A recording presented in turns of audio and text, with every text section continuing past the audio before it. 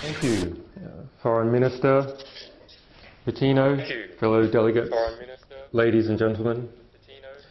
I speak to you today as a free man. Because despite having been detained for 659 days without charge, I am free in the most basic and important sense. I am free to speak my mind. This freedom exists because the nation of Ecuador has granted me political asylum and other nations have rallied to support its decision. And it is because of Article 19 of the United Nations Universal Declaration on Human Rights that WikiLeaks has been able to receive and impart information through any media and any medium regardless of frontiers. And it is because of Article 14.1 of the Universal Declaration of Human Rights, which enshrines the right to seek asylum from persecution, and the 1951 Refugee Convention and other conventions produced by the United Nations, that I am able to be protected, along with others, from political persecution.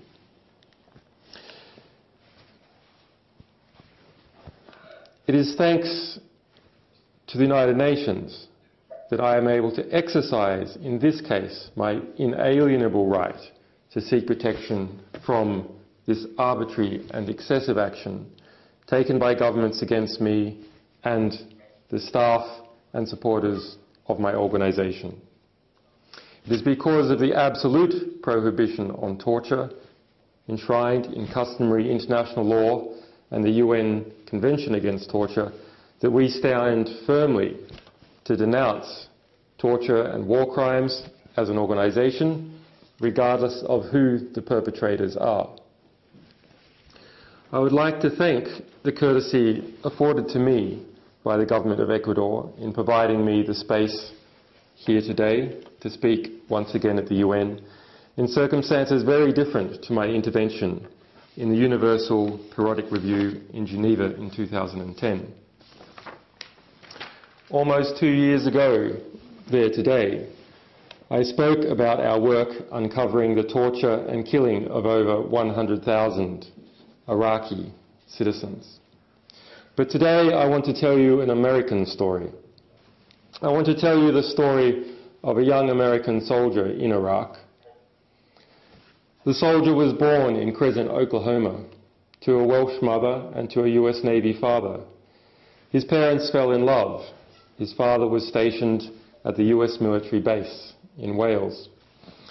The soldier showed early promise as a boy, winning top prizes at science fairs three years in a row. He believed in the truth, and like all of us, he hated hypocrisy. He believed in liberty and the right for all of us to pursue it and happiness. He believed in the values that founded an independent United States. He believed in Madison, he believed in Jefferson, and he believed in Paine. Like many teenagers, he was unsure what to do with his life, but he knew he wanted to defend his country, and he knew he wanted to learn about the world. He entered the US military and, like his father, trained as an intelligence analyst. In late 2009, Age 21, he was deployed to Iraq. There, it is alleged, he saw a US military that did not often follow the rule of law, and in fact engaged in murder and supported political corruption. It is alleged it was there in Baghdad in 2010 that he gave to WikiLeaks, he gave to me and it is alleged he gave to the world details that expose the torture of Iraqis, the murder of journalists, and the detailed records of over 120,000 civilian killings in Iraq and in Afghanistan. He is also alleged to have given WikiLeaks 251,000 US diplomatic cables, which then went on to help trigger the Arab Spring. This young soldier's name is Bradley Manning. Allegedly betrayed by an informer, he was then imprisoned in Baghdad, imprisoned in Kuwait, and imprisoned in Virginia, where he was kept for nine months in isolation and subject to severe abuse. The UN Special Rapporteur for Torture, Juan Mendez, investigated and formally found against the United States. Hillary Clinton's spokesman resigned. Bradley Manning, science fair all-star, soldier and patriot, was degraded, abused and psychologically tortured by his own government. He was charged with a death penalty offence. These things happened to him as the US government tried to break him, to force him to testify against WikiLeaks and me.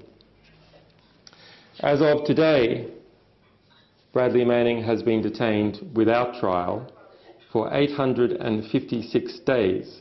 The legal maximum in the US military is 120 days.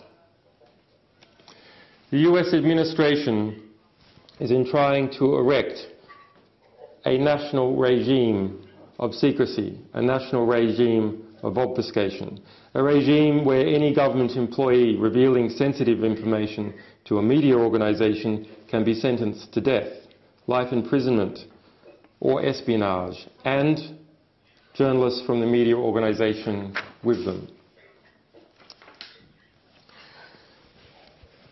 We should not underestimate the scale of the investigation which has happened into WikiLeaks. I only wish I could say that Bradley Manning was the only victim of the situation, but the assault on WikiLeaks in relation to that matter and others has produced an investigation that Australian diplomats say is without precedence in its scale and nature, that the US government called a whole of government investigation. Those government agencies identified so far as a matter of public record having been involved in this investigation include the Department of Defense, CENTCOM, Southcom, the Defense Intelligence Agency, the US Army Criminal Investigation Division, the United States Forces in Iraq, the 1st Armored Division, the US Army Computer and Crimes Investigative Unit, the CCIU, the 2nd Army Cyber Command, and within that, three separate intelligence investigations. The Department of Justice, most significantly, and its US grand jury in Alexandria, Virginia. The Federal Bureau of Investigation, which now has, according to court testimony early this year, produced a file of 42,135 pages into WikiLeaks, of which less than 8,000 concern Bradley Manning.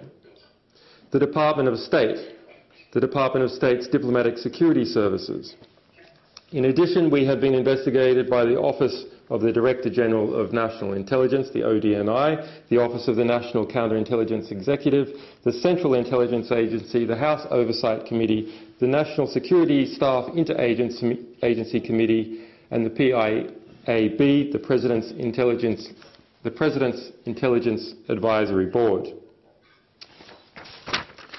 The Department of Justice spokesperson Dean Boyd confirmed in July 2000. 12, the Department of Justice investigation into WikiLeaks is ongoing.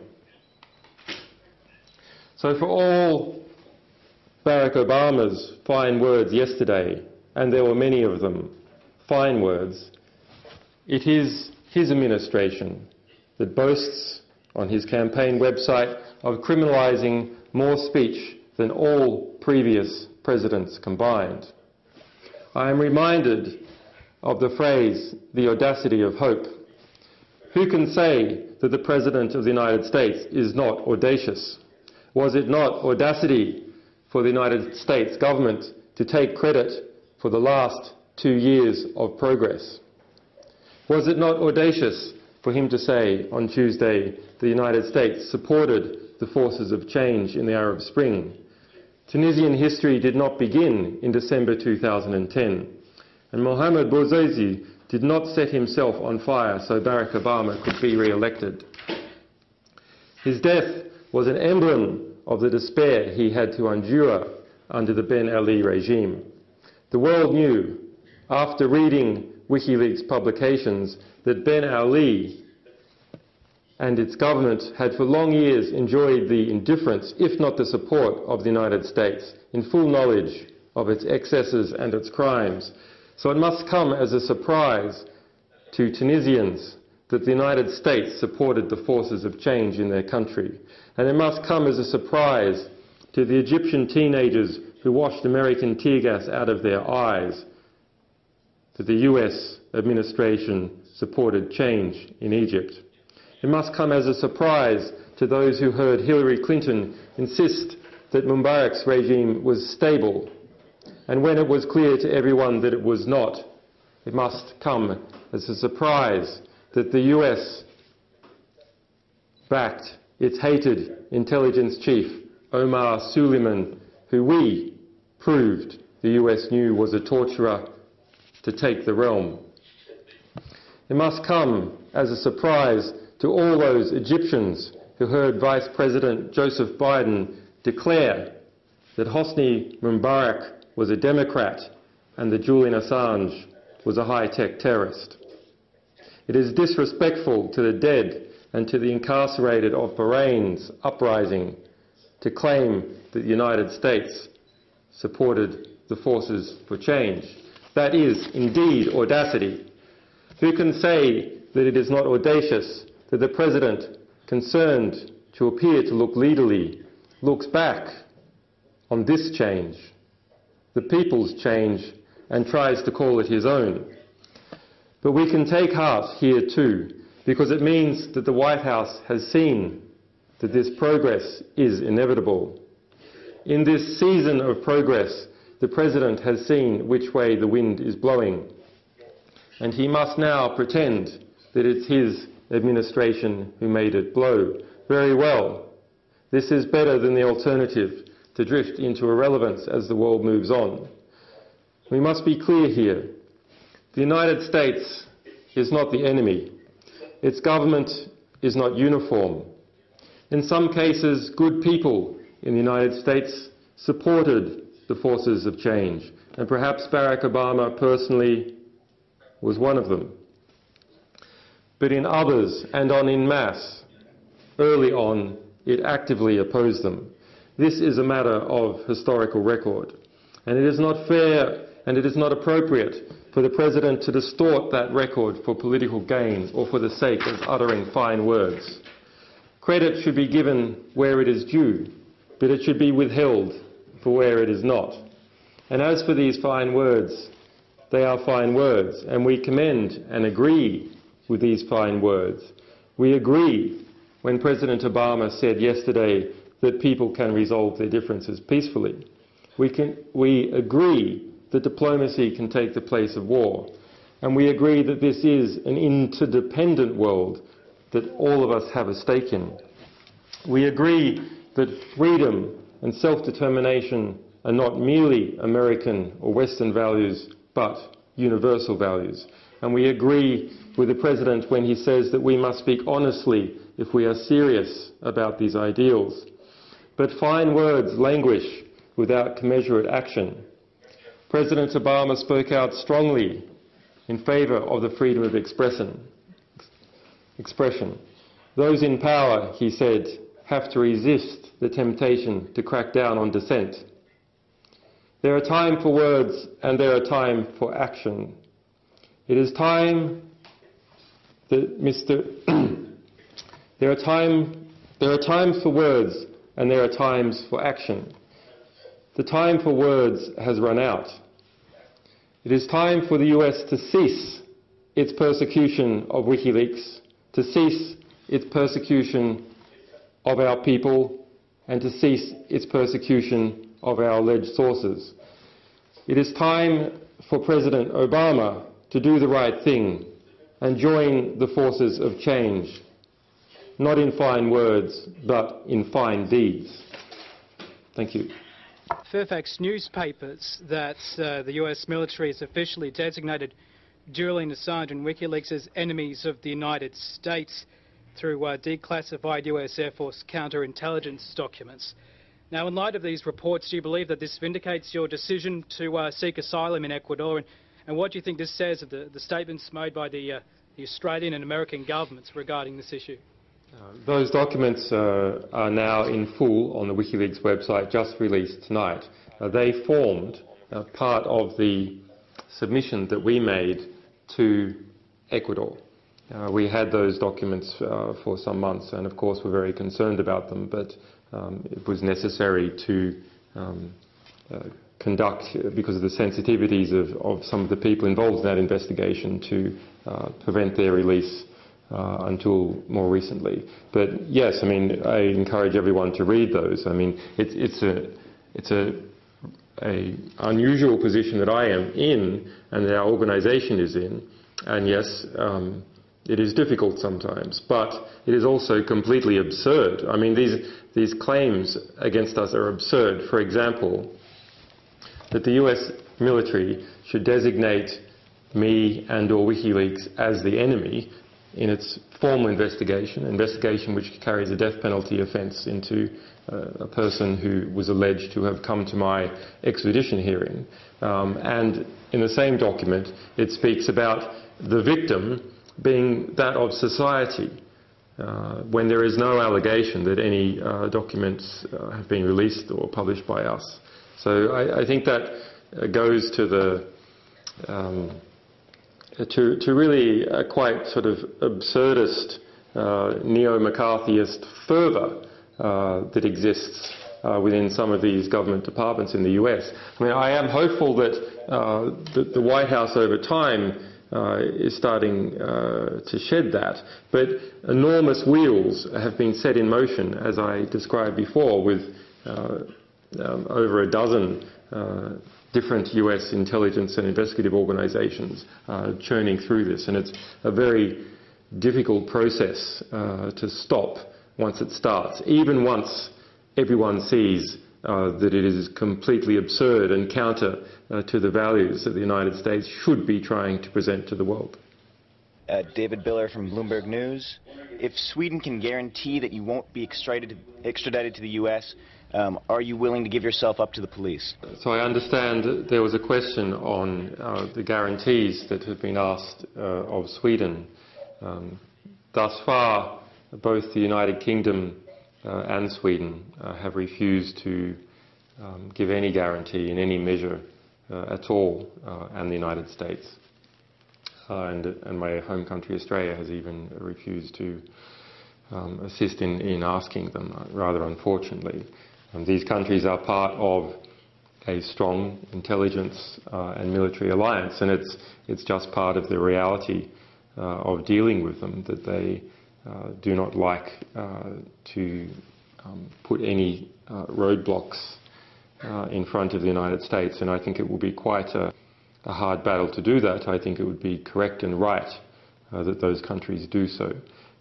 but um, the state-to-state -state, um, negotiations are, of course, a matter for Ecuador, um, with which I and my legal team, uh, of course, make representations, but uh, ultimately uh, it is a matter uh, between states.